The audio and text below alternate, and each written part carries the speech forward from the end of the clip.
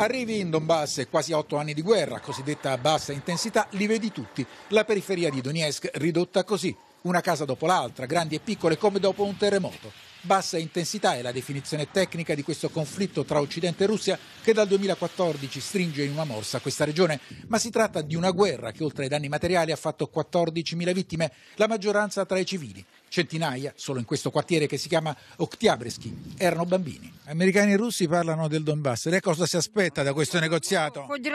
Devono trovare un accordo, ma devono anche spiegarci che differenza fa tra Russia e Ucraina. Siamo sempre stati un solo paese. Fino al 2014 il Donbass era la parte più produttiva e ricca dell'Ucraina. Oggi a tenerla a galla è l'aiuto che arriva dalla Russia, la grande madre di questo pezzo di terra, grande meno di un ventesimo dell'Italia e popolato ormai da poco più di 4 milioni di persone.